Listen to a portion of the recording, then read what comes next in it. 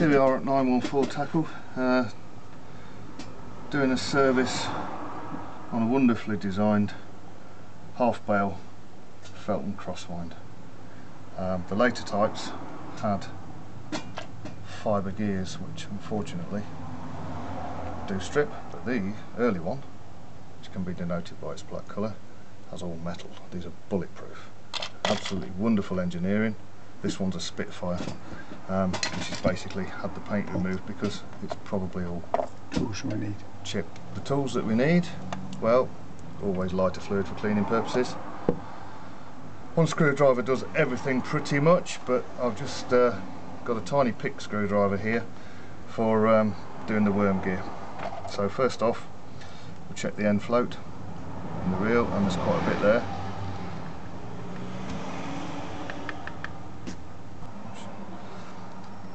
You're going to take a reel apart like this and you don't know them, then uh, it's a good idea to either video yourself doing it or take pictures uh, or even write it down if you haven't got a phone. But all I'm doing now is, is adjusting the end float to make sure there's a tiny bit there and it's not loading any bearings or anything like that so that the fly rotates nice and freely. Um, and then you've got a locking nut there that locks up to the original one. I've tensioned it via this one and this one will just lock it. It doesn't have to be silly tight. All it has to do is to lock the flyer and make sure that it rotates nicely. It's a little bit of trial and error because when you do one up then the other one moves with it so which is a bit of a pain in the backside so you just got to get it right got to back that one off to do that one up to make that one go in the right position when it's locked off I think that's about right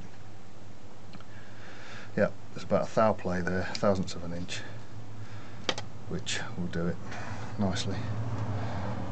Proprietary cleaner is uh,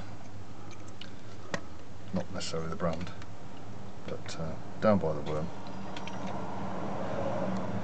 And then just give it a good old spin. Kitchen cloth always just to pull everything out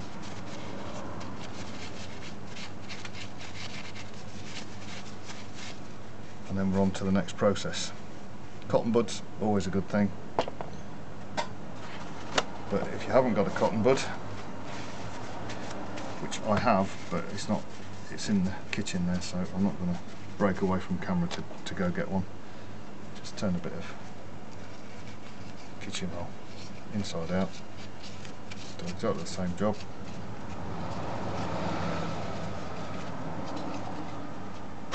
the rest of the um, the rest of the lighter fluid will evaporate. Again clean the shaft. I've already done this but clean the shaft area inside there on the brass. Um, you know there's many ways you can do it. Do the same thing if you wanted to which I shall do because I haven't got any other means. Straight in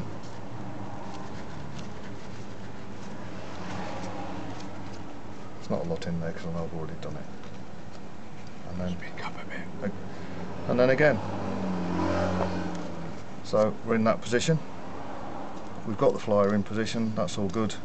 We're looking good from that point of view. So the next thing is the gearing off the lay shaft. The oscillating shaft. Well, it doesn't really oscillate on this one because it's a crosswind. But um, so we'll be going in. Again that's already been cleaned. So I'll have a little bit of lube down there. Don't overdo it because if you do you'll make the reel stiff but don't underdo it as well which is a bit of a bit of a strange thing to say but and then you've got a hole in there for a screw Speak up a little bit.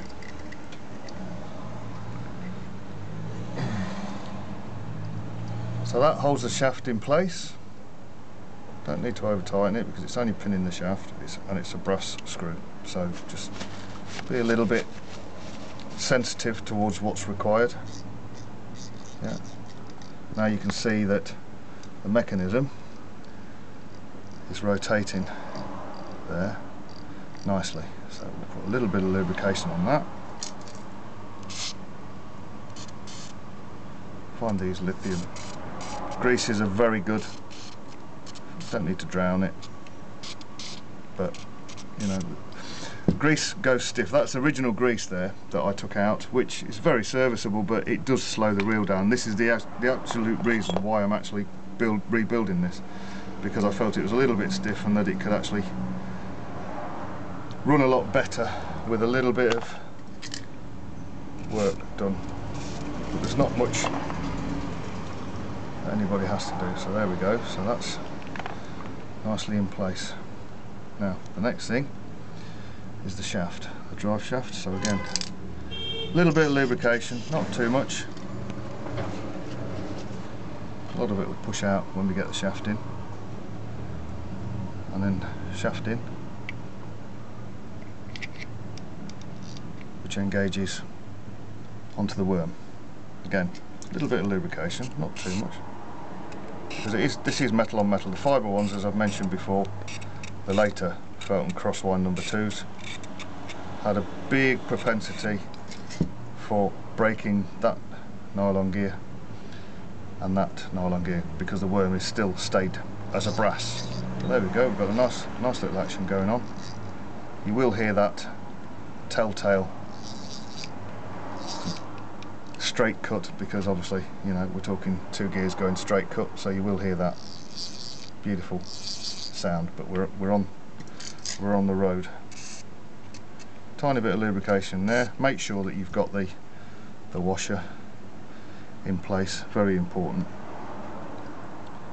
Um, for longevity really. And then we're in a position now where we'll just clean this up. Again, same process. Um, you know, I've done the interior already, but I just noticed a little bit. Um, that's not anything to worry about, but that is what would happen if at some point somebody hadn't got the correct washer in it. Now I put the correct washer in it because when I obtained this it hadn't got the correct washer in it and that is the result that you'll get because this boss there will rub. So that's just a little tip there. And uh, we're almost on. So again, not going too bad, you know, too too too much with lubrication, a little bit on the shaft. And into place. Yeah.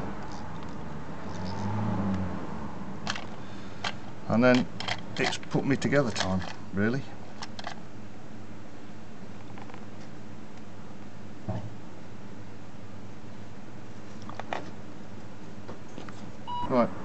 We just had a customer in so we had to stop filming.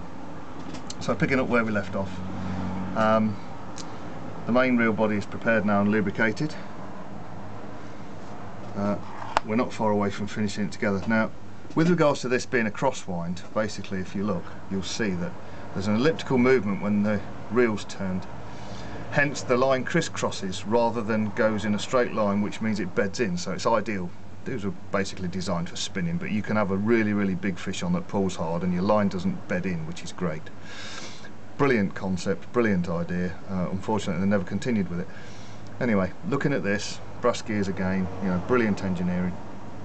And what we've got here, we've got a little grub screw. You'd have to rotate to undo the grub screw. I've done it now, you know, because they are difficult and we could have spent ages faffing around, but if you, you can probably just see it there, I don't know how good it's picking it up, but there's a little grub screw in there, grub screw out, take it off, lubricate.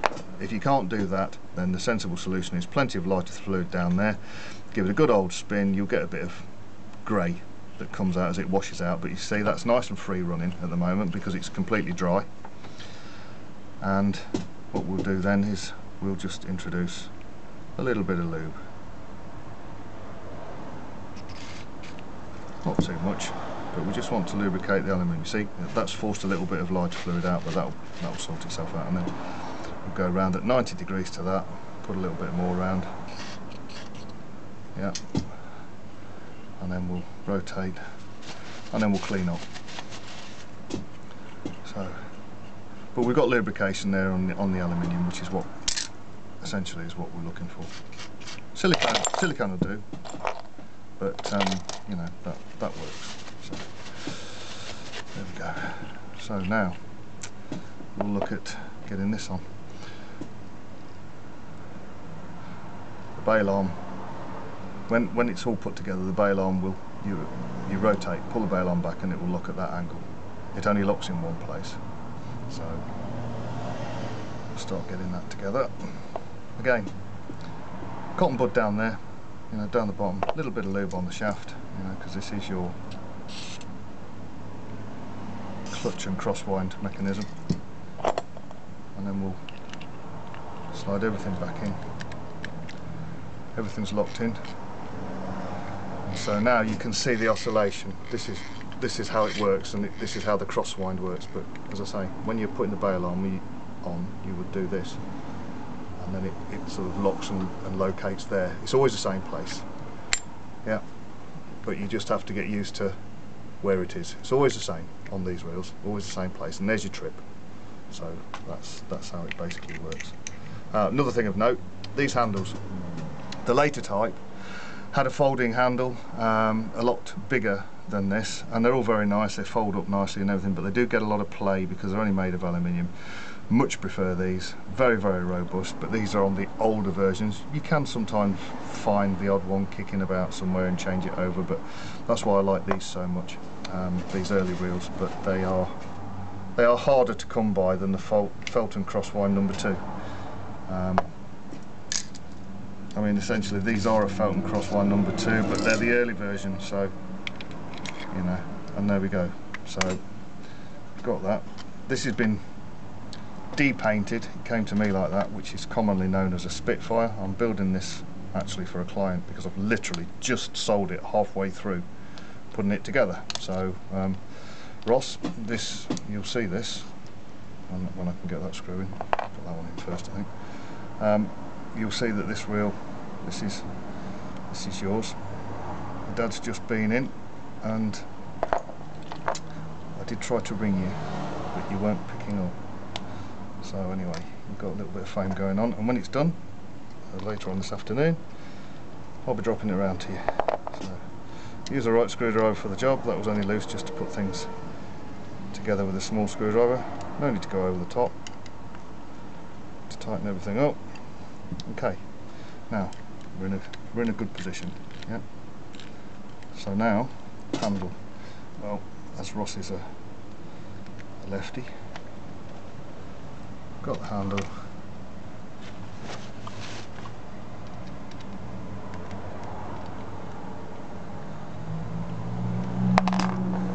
It's a small one.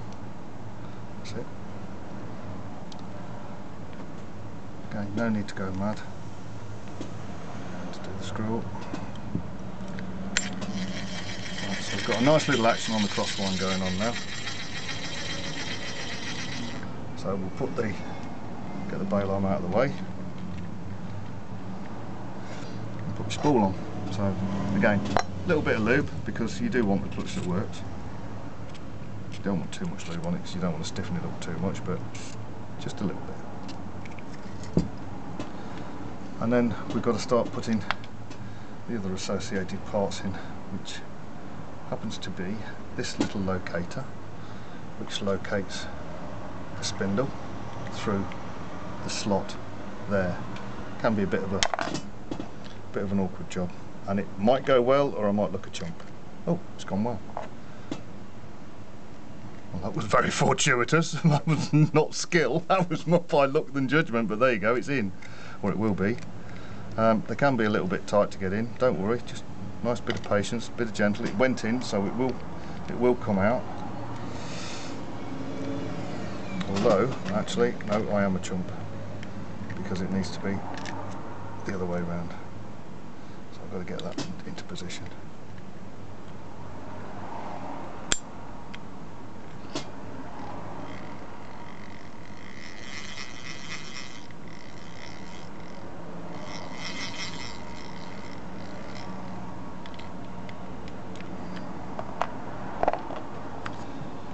Okay, I wonder if it'll go well this time.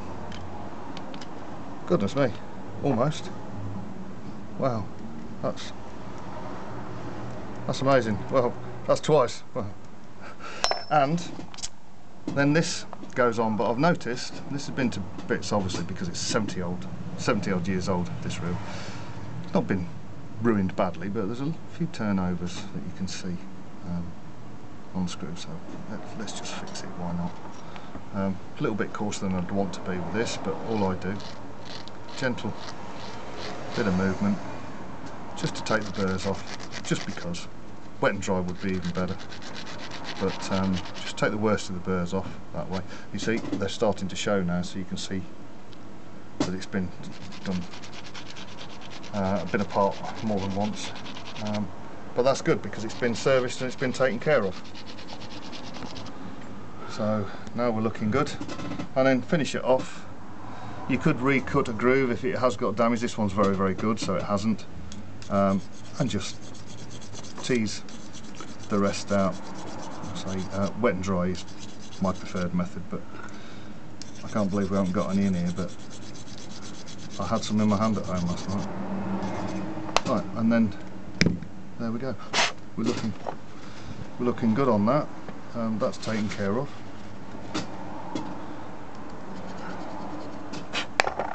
And then again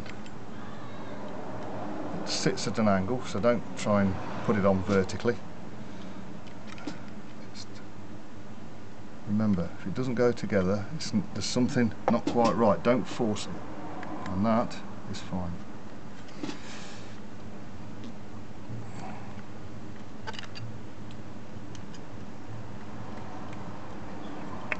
no need to go mad no need to over tighten everything because all you're doing is you're holding the spool in place. So there we go. Another test before we put it completely together. Feels absolutely superb. So we're looking good. And now we'll put the spool on. Again, we've got some lubrication now. Put a tiny bit on. Because I think I've wiped a bit off. Don't have to go mad. There we go. Um, you might notice on the Felton Crosswind 2, the later type with the folding handle, there's actually a, a ratchet there. Um, this is a silent drag. They were built like this. The, the, the laters um, had a clicker on the spool, but the this is a silent drag, so there's nothing missing. This is exactly how it should be. And now we've got to tease this washer on, which they are a tight fit. You don't want to be forcing them on. What you'd rather want to be doing instead is sort of gently teasing it on, like by, by turning it and hoping that it will go down the threads because you don't want to be breaking one.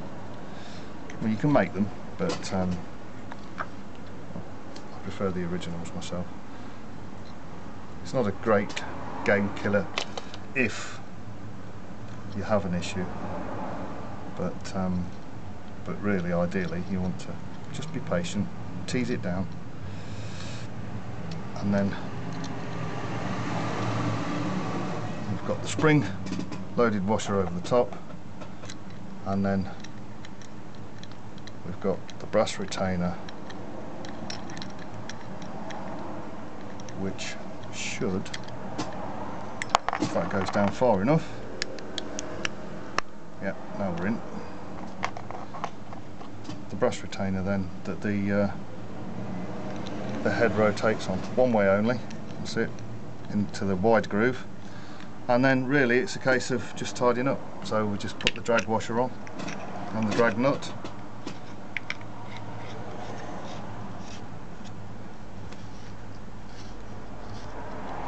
Okay so now we've got that working nicely. And one final part.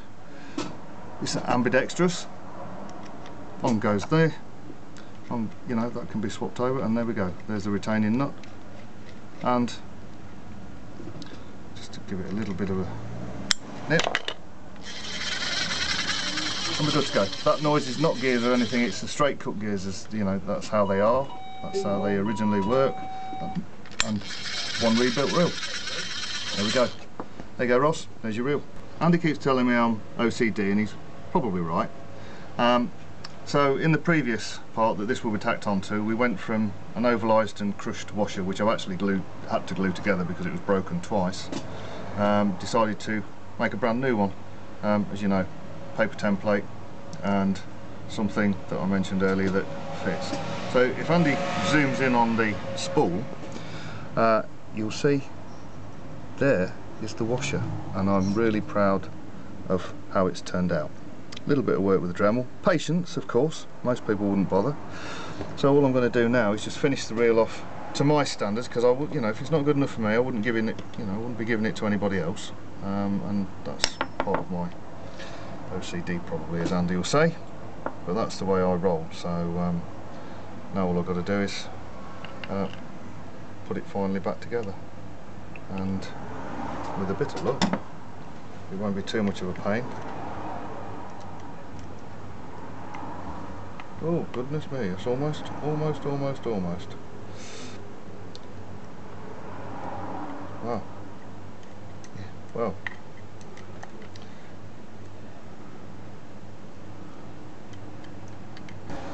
Okay, after a brief edit, note to self and everybody else, always make sure that the flat of the shaft is downwards. Um, it's very easy to get it the other way around and all it does basically is it locks the reel up because you've got that little piece of a lip there and you lock the reel up it won't turn. So it must be on the angled side going down. So you just rotate the reel until the flyer comes into the correct position so that you can put this locking tab in place. And if we're lucky goodness me it's gone on again. Well that's quite amazing.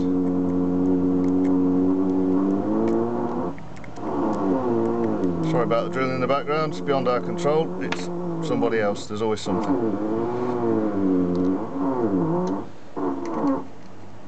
But anyway, so now we're starting to see the dog for the rabbit. Again, not too tight because it's brass. Let's check that everything's spinning. Yep. Bail arm action, perfectly fine. Washer on the bottom, lube on the bottom, bail on back. And then the washer that we've just made. Look at that. It goes over there beautifully. Super fit. Really really pleased with that. Exceptionally pleased to be honest. Now the other thing is these. Got to be careful which way you put them on. Um, they get used to being on one way and if you look there's a slight radius on one. Easy to miss flat part on the bottom, slight radius on the top. Yep, and then the locking pad. Again, that gap there is too narrow. That gap there is the gap that that fits on. And again, you've got the dish, you know, and the smooth. So the flat part again on the bottom, and you've got a slight round on the top. Yep, and then all it is is a case of putting the drag cap on finally, through my OCD, I am working on the therapy. We're good to go. One other thing that um, I did forget to bring anybody's attention to, there should be a half clip, a bit like a bicycle trouser clip, that actually has got a dimple in the bottom. It's a chrome clip and it fits, it clips onto there because this is an oil port um, to oil the shaft. Um, I put grease in it, but it's perfectly fine. It doesn't cause a big issue. Um, sometimes these people pop them off by the riverbank and they lose them. Um, I haven't got a spare one. They're hard to find. Um, probably Gary would have one if I asked, but you know, this, this is ready to go and I'm sure Ross will enjoy fishing with it. So there you go, folks. Finally, it's finished.